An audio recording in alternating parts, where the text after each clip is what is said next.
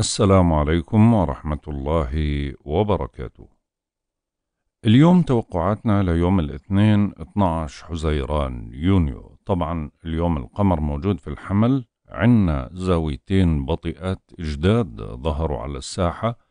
اليوم في إيجابية عالية جدا، عشان هيك بدكم تركزوا معي على كيف تكسبوا. القمر الآن موجود في برج الحمل، يعني خلال هذا اليوم. آه هذا القمر الآن موعد بث الحلقة موجود في منزلة الشرطين وهي منزلة جيدة لكل ما يخص النساء وغير ذلك فهي سيئة جدا ومن الأفضل عدم البدء بأي شيء جديد. جيدة لعلاج الأسنان والعمليات الصغرى وتقليم الأظافر وحلاقة الشعر. راح يظل القمر موجود في هاي المنزلة لغاية الساعة 11 و52 دقيقة من ظهر اليوم الاثنين. بعدها بده ينتقل لمنزلة البطين وهي منزلة جيدة لتهدئة النفوس والإصلاح والبدء بكل شيء. القمر بما أنه موجود في برج الحمل معناته بظل اليوم في عنا طاقة عالية كبيرة وأكثر من يوم أمس. الطاقة هاي بتيجي للعمل أكثر شيء وللحركة والنشاط بنكون أكثر تصميما وأكثر استقلالية. منبادر بمشروع جديد ولكن من المحتمل أنه نتسرع في بعض تصرفاتنا أو نتهور أو يطلع منا بعض الكلام اللي يكون جارح شوي. يجب أن نحذر أكثر على الطرقات من السرعة الفائقة. منلاحظ أيضا في هاي الفترة أن أقل صبر في التعامل مع الغير وهذا الشيء ممكن يوقعنا في متاعب ومشادات غير مرغوب فيها. منفقد دبلوماسيتنا ومنكون أكثر عدوانية.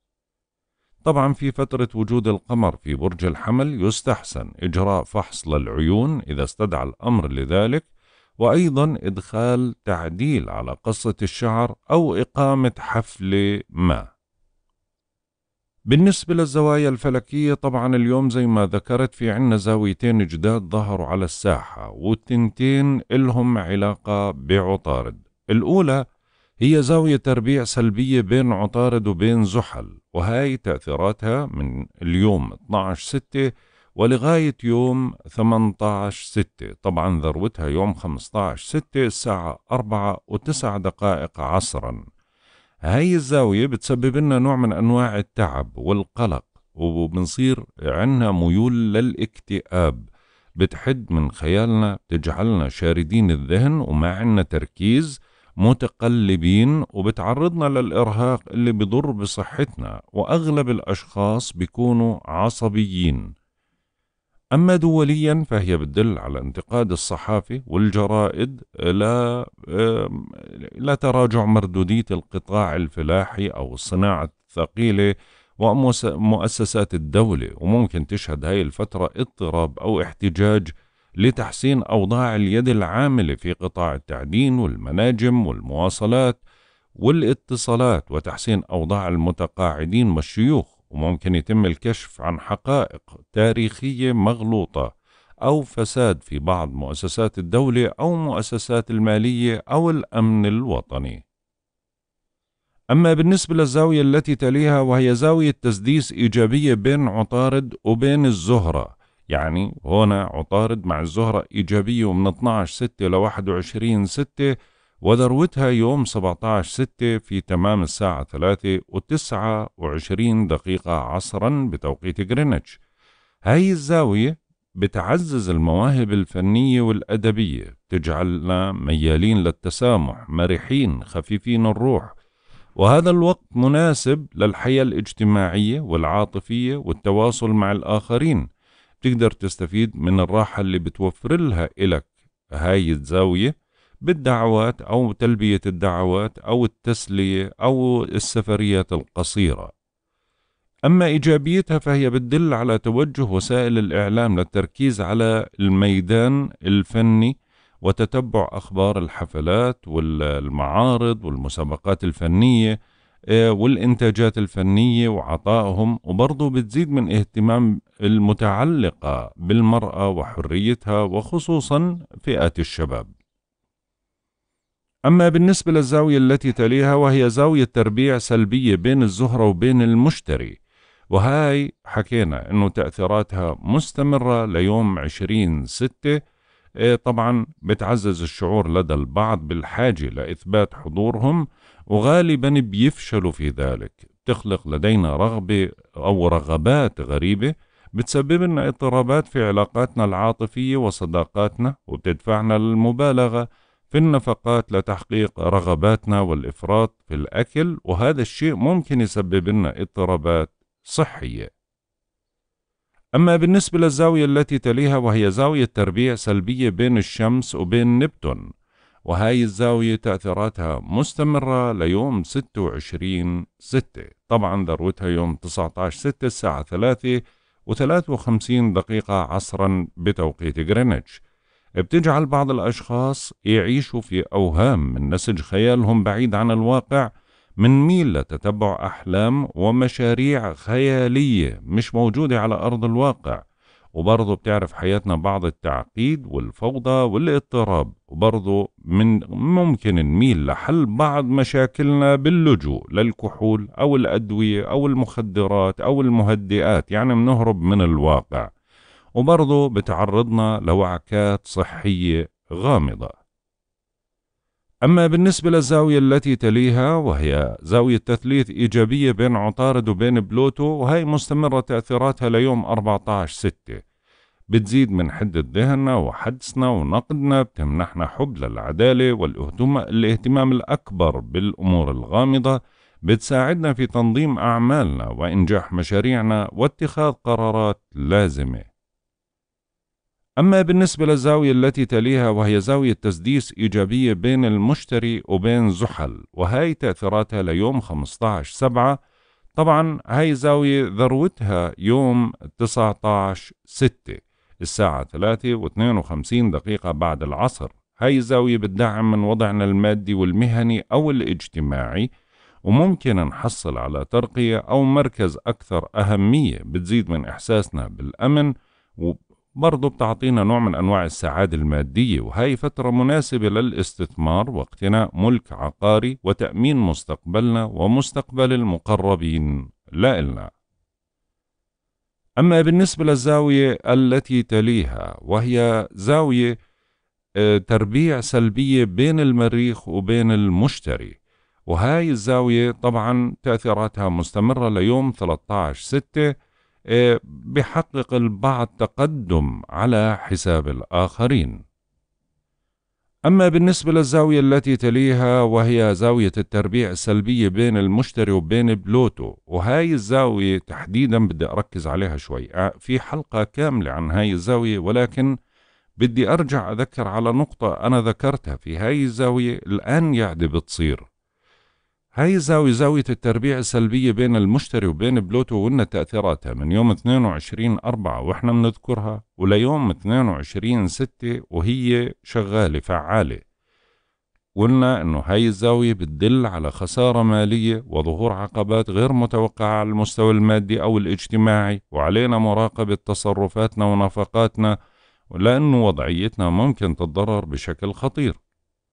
وقلنا إنها هاي الزاوية بتدل على تحولات اقتصادية خطيرة بتضر بتضر بخزينة البلاد وممكن يقع اضطراب في قطاع الاقتصادي أو المالي بالخصوص وتراجع في مداخيل البنوك والمؤسسات المالية بشكل يصعب التحكم فيه وهذا الإشي حاليا موجود. أما بالنسبة للحدث اللي أنا بدي أحكي عنه اللي هي قلنا إنه في هاي الزاوية ممكن تقع تفجيرات أو حرائق من طرف أيدي خفية بتهدف لزعزعة استقرار البلاد وبرضو ذكرت فيها احتمال وقوع كوارث طبيعية كحرائق الغابات وشددت على هاي النقطة أكثر من مرة. وكان في زاوية أخرى برضو حكيت عن حرائق إلها علاقة بالغابات وفي حلقة المريخ برضو ذكرت حرائق الغابات إنه المريخ في برج ناري. الآن شوفوا الحرائق اللي بتصير في كندا. لوين وصلت نيرانها ودخانها لنيويورك وغطت الدنيا كلها؟ وعاملة أزمة عنيفة جدا وهاي رح تضر بالمناخ لأشهر قادمة. فعشان هيك الزوايا دائما خذوها بعين الاعتبار. دائما ركزوا عليها ركزوا على الكلام أو مضامين الكلام ودائما خلوا في حيطة وحذر. من هاي الزوايا حتى لو الشيء ما صار ولكن الأخذ الحذر مطلوب. أما بالنسبة للزوايا اللي اليوم رح تتشكل أو ذروتها اليوم وتأثيراتها اليوم أول زاوية هي زاوية تثليث إيجابية بين القمر وبين الزهرة وهي ذكرناها يوم أمس لأنه قلنا أنه هاي الزاوية الساعة 11 و 39 دقيقة من مساء يوم الأحد ولكن تأثيراتها بتبدأ من ظهر يوم الأحد وبتستمر حتى ظهر يوم الاثنين. يعني هاي الزاوية رح تظل مأثرة ليوم ظهر يوم الاثنين. زاوية تثليث إيجابية بين القمر وبين الزهرة يعني رح تأجج العاطفة تجاه الجنس الآخر وبالتالي بننجح بتعزيز العلاقة معهم والمصالحة والتقارب والتواصل. وبتعطي دفعة للعاملين في المجال الفني والتجميلي والديكور فبيتحسن عطائهم وإبداعهم وبتزيد من خيالنا وحبنا ومودتنا وتفاؤلنا وبتسمح لنا أنه نعيش أوقات ممتعة. أما بالنسبة للزاوية التي تليها وهي زاوية تثليث أيضا إيجابية وهي المرة بين القمر وبين المريخ وهي ذروتها الساعة 12 و35 دقيقة ظهرا من ظهر اليوم الاثنين يعني تأثيراتها بتبدأ من منتصف الليل من بداية يوم الاثنين وحتى نهاية يوم الاثنين. من بسبب هاي الزاوية بتعطينا فرص للحصول على مكاسب مالية بنندفع للاهتمام بصحتنا أكثر بتزيد من شجاعتنا بتعطينا نوع من أنواع الحماسة وهذا الوقت بصير مناسب للدفاع عن أفكارنا وحقوقنا والقيام بخطوات مهمة. برضو اليوم بنلاقي اللي بيشتغلوا في الكوادر الطبية إنه نسبة العمليات الجراحية بتكون قليلة. يعني بمعنى آخر في نشاط وحركة وقدرة على الكلام وبلاغة وفصاحة وإيصال المعلومة للترويج وأيضا الأشخاص اللي بيعانوا من مشاكل جنسية اليوم بيقدروا إنهم يعالجوها لأنه هذا يوم مناسب لهاي الأمور. أما بالنسبة للزاوية التي تليها وهي زاوية تسديس إيجابية بين القمر وبين الشمس وهاي ذروتها الساعة ثلاثة وتسعة وخمسين دقيقة من صباح يوم الثلاثاء ولكن بتبدأ تأثيراتها من عصر يوم الاثنين وبتستمر حتى مغرب يوم الثلاثاء. تؤمنوا مزيد من الاهتمام لصحتنا منتلقى المساندة والدعم من الأصدقاء منتجه لتغليب العقل نصبح أكثر قدرة على السيطرة على مشاعرنا بتساعدنا على التوازن والثقة بالنفس ونجاح العلاقات العاطفية. يعني بمعنى آخر ثلاث زوايا قوية اليوم ما إلك حجة إنك إنك اليوم ما تستغله بكل شيء إيجابي. بالنسبة للأعضاء اللي في جسمنا الأكثر حساسية خلال هذا اليوم الرأس والأسنان واللسان والعضلات المخططة والقضيب والمرارة والشرايين والدم. طبعا هذا اليوم مناسب لإجراء فحوصات أو مراجعات طبية أو علاجات أو عمليات صغرى ولكن بالنسبة للعمليات الكبرى يعني وضعية الكواكب بتساعد على هذا الأمر لكل أعضاء الجسم ما في أي مشاكل إلا أمر اللي هو الشرايين اللي هو القلب المفتوح شوي لأنه نقطة ضعف فأنا ما بنصح فيه إلا إذا كان اضطراري. أما بالنسبة لعمليات التجميل فهذا اليوم من الأيام القوية جدا بما يتعلق بالتجميل حقن جراحة فيلر مش عارف إيش آه، تقشير آه، تبييض تسويد تغميق تفتيح أي إشي كله منيح. وأيضا يصلح هذا اليوم لإزالة الشعر الزائد بالليزر ويصلح لقص الشعر التجميلي والصبغ والحنة ولكنه لا يصلح للقص العلاجي لأنه القمر بيتناقص. بما أنه القمر موجود في برج الحمل خلو المسار القادم بيبدأ يوم الثلاثاء 13 أربعة ولكن مدة خلو المسار أربع دقائق لأنه رح يبدأ خلو المسار الساعة 6 و26 دقيقة مساء بتوقيت غرينتش ورح يستمر لغاية الساعة 6 و30 دقيقة مساء بتوقيت غرينتش. يعني ما فيها الوقت الطويل أربع دقائق ما إلها هي تأثيرات. وبعدها بنتقل القمر لبرج الثور. أما بالنسبة لعمر القمر عمر القمر انحسار الهلال عمره 24 يوم في تمام الساعة 11 و14 دقيقة. مساء بصير عمره 25 يوم نسبة الإضاءة بتصير 27% أما بالنسبة لمزاج الكواكب وطباع الكواكب لهذا اليوم الشمس في الجوزاء حتى يوم 21 ستة هي الآن منتحسة بنسبة 15% في ساعات العصر بتصير سعيدة بنسبة 10% القمر في الحمل حتى يوم 13 ستة سعيد بنسبة 70% عطارد في الجوزاء حتى يوم 27 ستة سعيد بنسبة 15% الزهرة في الأسد حتى يوم 23 سبعة منتحس بنسبة 50% المريخ في الأسد حتى يوم 10 سبعة منتحس بنسبة 40% المشتري في الثور حتى يوم 4 تسعة سعيد بنسبة 30% زحل في الحوت حتى يوم 17 ستة سعيد بنسبة 15% أورانوس في الثور حتى يوم 29 ثمانية سعيد بنسبة 15% نبتون في الحوت حتى يوم 30 ستة سعيد بنسبة 15% وبلوتو في الجدي بيتراجع حتى يوم 11 عشرة منتحس بنسبة 15% وصلنا للتوقعات اليومية. برج الحمل. بالنسبة لمواليد برج الحمل طبعا اليوم ثقتكم بأنفسكم كبيرة وبعمكم النشاط وبتسيطروا على زمام الأمور في أي مجال أنتوا بتشتغلوا فيه وبتنجحوا بالدفع بمصالحكم بأي مجال. يعني بمعنى آخر هذا وقت مناسب لحسم الأمور العالقة أو إيجاد حلول لإلها أو المبادرة بتفعيلها أو بطرح فكرة جديدة. ممكن تسمع جواب كنت بتنتظره خلال هذا اليوم. أهم شيء إنك تتحرك وما تنتظر إنه الفرصة هي اللي تيجي لعندك. لازم أنت اللي تنشط اليوم عشان تحصل هاي المكاسب. وحاول إنك ما تضيع الوقت بأمور ما في منها فايدة.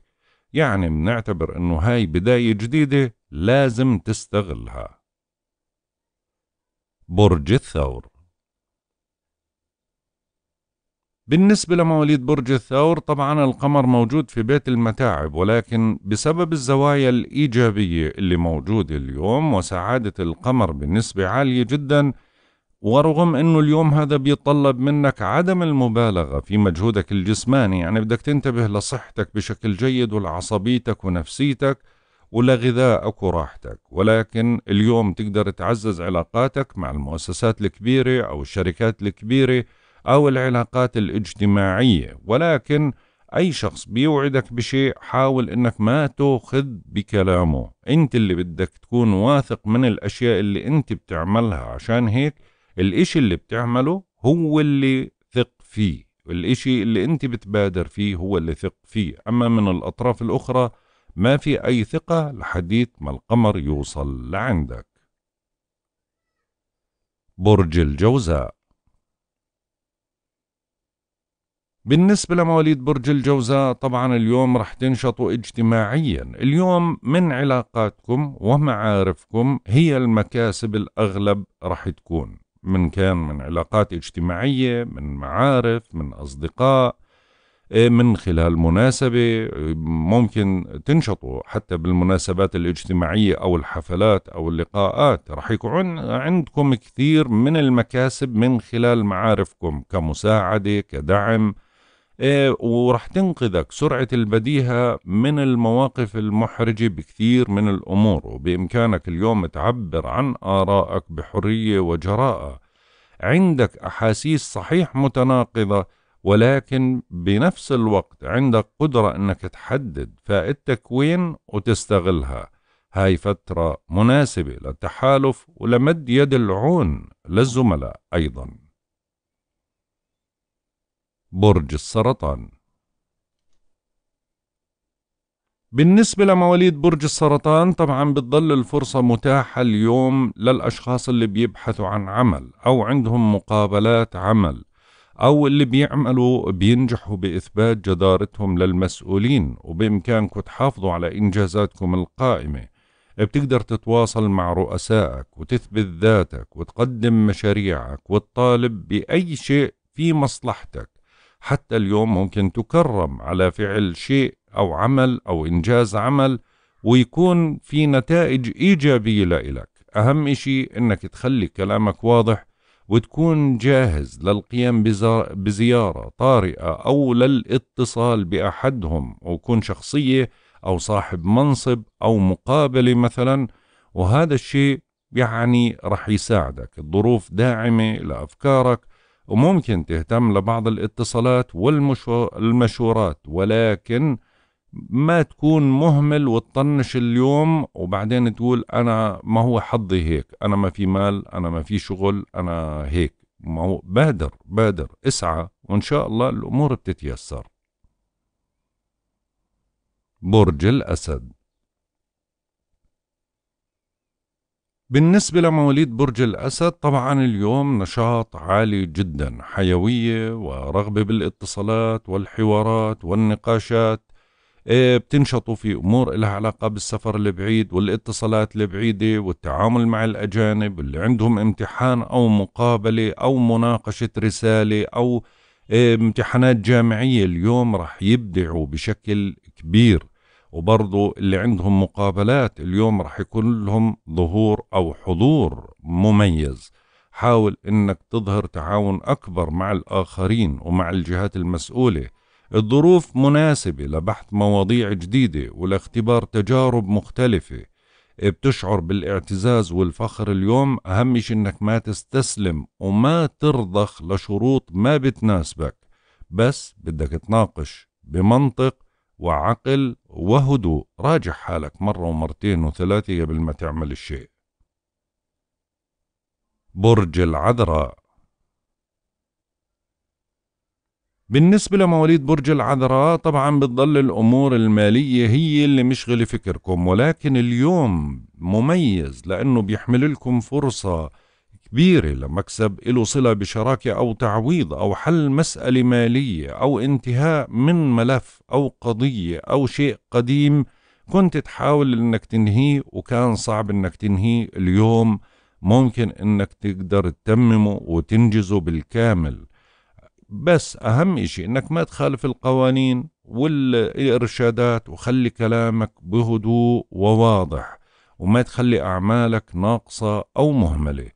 حاول إنه برضو تكون متفهم لأوضاع الآخرين ولآرائهم في عندك بعض الاهتمام على المستوى العائلي أو على مستوى البيت. الأجواء جيدة وداعمة لإلك بقوة وممكن في خبر صار أو فرحة أو يعني اهتمام مميز اليوم. برج الميزان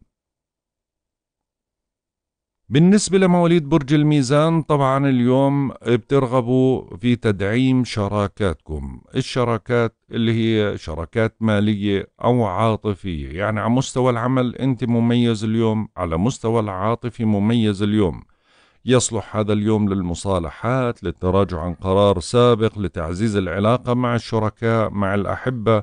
وهذا يوم مناسب للقيام بعمل بتطلب تعاون من طرف ثاني. يعني بمعنى آخر إذا بدك تعمل أي شيء خلي معك شخص بتم, بتم الأمر. يعني معك واحد مرافق لإلك. مش شرط إنه هو يبادر بالأمر لأنه دائما التعاون في هاي الوضعية لما القمر يكون إقبالك أنت بتأخذ من طاقة اللي جنبك لأنه طاقتك ضعيفة وبتكثر عندك الواجبات اليوم وبتتزامن. فعشان هيك الطاقة ضعيفة ما في خوف عليك ولكن زي ما حكينا استعين بأشخاص طاقتهم ممتازة عشان تمشي أمورك.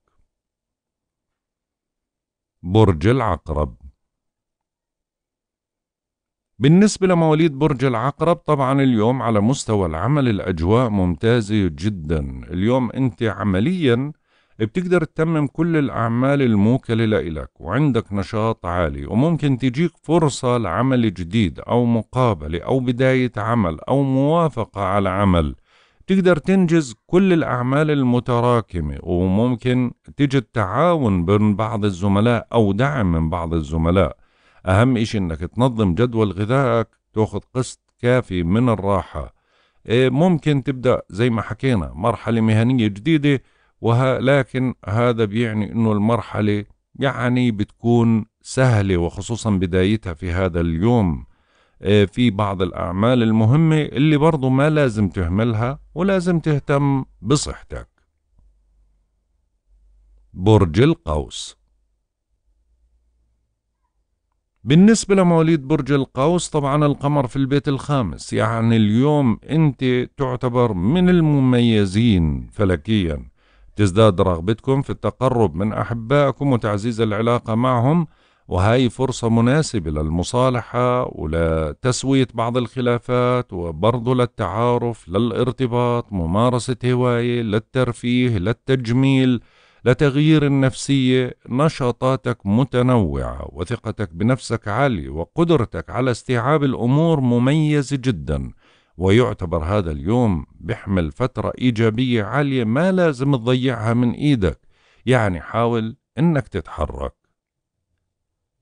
برج الجدي. بالنسبة لمواليد برج الجدي طبعا اليوم التركيز كله على البيت وعلى العائلة بترغبوا في إدخال تعديل على مسكنكم والتفاهم مع أفراد العائلة. في فرحة في خبر مميز في إنجاز مميز على المستوى العيلة اليوم رح تهتم فيه. مناسبة مولود فرح إشي زي هيك. في حركة اليوم راح تكون مبهجة بالنسبة لإلك. اللي بيشتغلوا في مجال العقارات بيستفيدوا كثير. اللي بدهم يستأجروا بيت أو يشتروا بيت أو يعملوا صيانة أو ديكور جديد فهذا يوم مناسب. فعشان هيك بس بدك تنتبه إنه بعض المسائل الخاصة والعائلية بتحتاج لنوع من أنواع النقاش المرن بدون عصبية. ممكن يكون في بعض بعض الاضطرابات اللي هي بعض الأعطال أو بعض المصاريف ولكن مش هالشيء اللي رح يكون مرعب بالنسبة لإلك. تقدر تتجاوز وبتقدر تحل المسائل. برج الدلو بالنسبة لمواليد برج الدلو طبعا بتنشطوا في مجال السفر والاتصالات. اليوم نشاط عالي جدا وعندكم أشخاص اليوم ممكن تتواصلوا معهم أو تستعينوا فيهم إخوة أو جيران أو معارف. وممكن تنطلق في مرحلة مهنية للترويج لمشاريع بنجاح. عندك قدرة على الإقناع عالية تسويقية ممتازة. بالسفريات والتنقلات والاتصالات والزيارات القصيرة والترفيه برضو ممتاز. وقدرتك على إيصال المعلومة للحبيب برضو جيدة.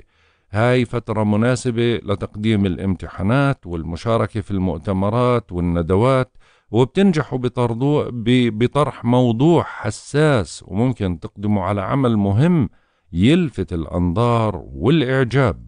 بعضكم راح يهتم ببعض المسائل اللي إلها علاقة بالإلكترونيات أو إلها علاقة بالاتصالات أو السيارات. برج الحوت. بالنسبة لمواليد برج الحوت طبعا بتظل الفرصة متاحة لمكسب مالي. بيجي هذا المكسب من عمل إضافي ومنكم أشخاص ممكن يستردوا أموال بتعود لهم أو بيكون عندهم ذائقة مالية واليوم تفرج أو يوعدوا بحلول.